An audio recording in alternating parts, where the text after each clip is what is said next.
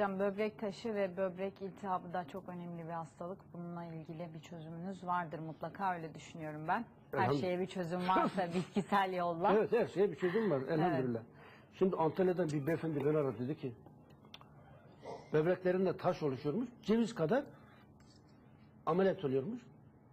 6 ay sonra tekrar ceviz kadar böbreklerinde taş oluşuyor. Dedim ki Antalya'da lüks oteller için artık avokado yetiştiriliyor. Avokado var mı? Var. Yaprağı var mı? Var. Çayını yap iç dedim.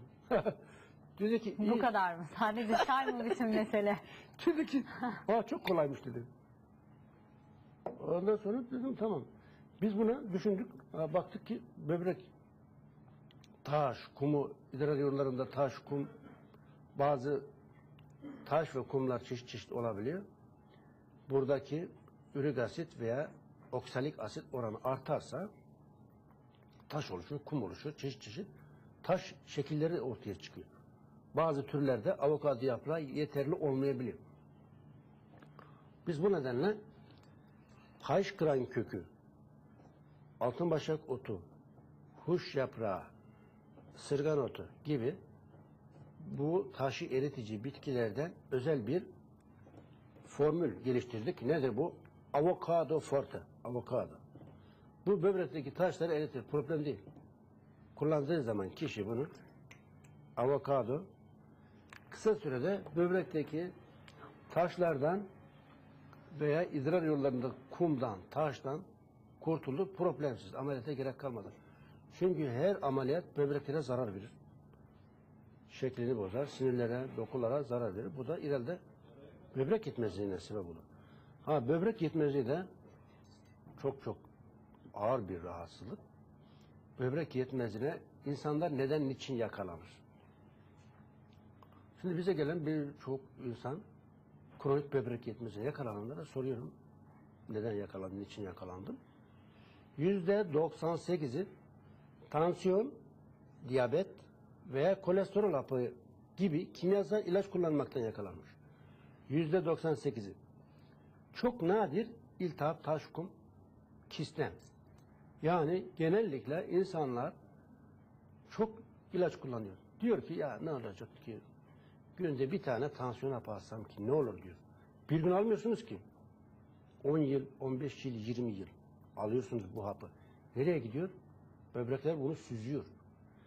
Birer milyondan 2 milyon nefron dediğimiz süzgeç hücreler var böbreklerde. Bu hücreler bu toksik maddeyi süzerken ne oluyor? Yakıyor, kavuruyor, şeklini bozuyor, deforme oluyor. Böbrekler mesela 6-7 santim genişliğinde 10-12 santim uzunluğundaysa zamanla küçülüyor, büzülüyor, deforme oluyor. Kimyasal ilaçlar böbrekleri yakıyor, kavuruyor. Küçülüyor, küçülüyor böbrek. Böbreğe küçülmüş, gelmiş bana diyor ki bir tanesi, nohut kadar kalmış. Böbreğinin biri, biri de yavaş yavaş küçülmüş. Benim böbreğim tekrar düzelir mi? Ya balon mu bu? Gitmiş, bitmiş. İlaç kullana kullana böbreğini çürütmüş. Benim böbreğimi iyileşir mi? Kişi tansiyon, kolesterol, diyabet hapı kullanmamışsa iltihaptan, taştan, kumdan, kisten dolayı böbrek yetmezliğine yakalanmışsa çok kolay. Yani böbreklerdeki bu birer milyondan iki milyon nefron, süzgeç hücre deforme olmamışsa, büzülmemişse çok kolay. Şimdi bununla da ilgili çok güzel klinik araştırmaları var. Nedir bu? Altın başak otu. Altın başak otuyla ilgili yine Almanya'da, hep Almanya'dan örnek veriyorum. Neden? Onlar klinik araştırması yapıyor. Biz bakıyoruz. İnşallah biz yapacağız. Zamanla onlar bakacak. Evet.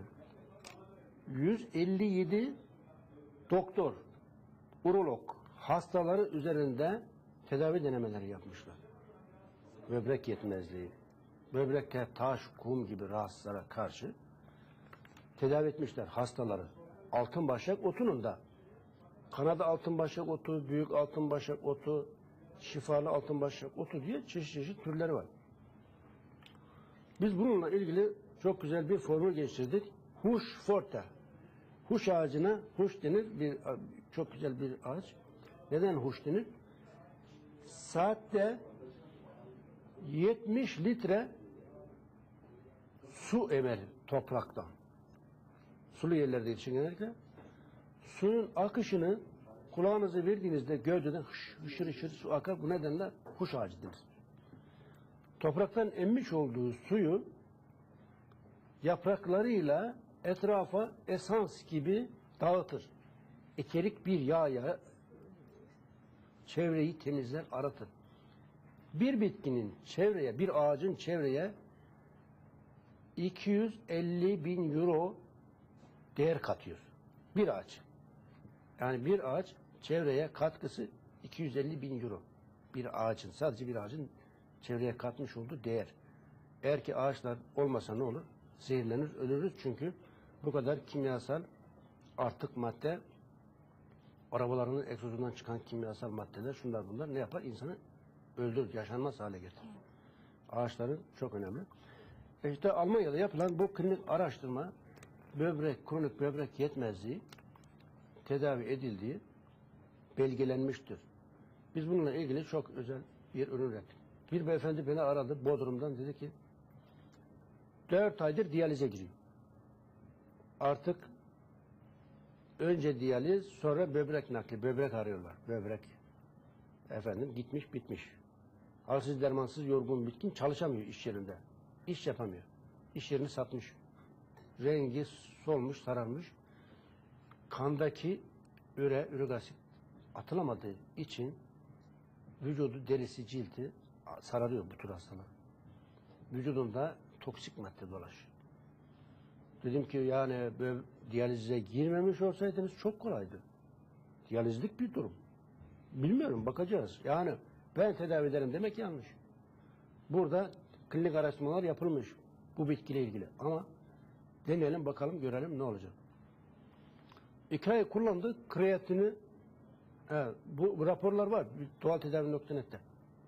Raporu getirmeyi unuttum.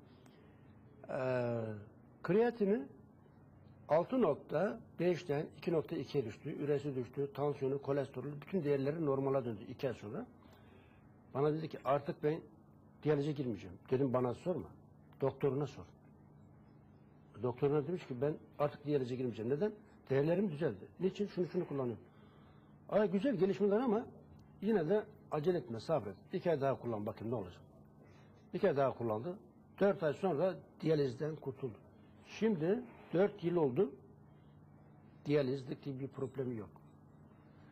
Yani diyalize girmeden kişi erken teşhis, erken tedaviye başlarsa iyileşmesi daha kolay.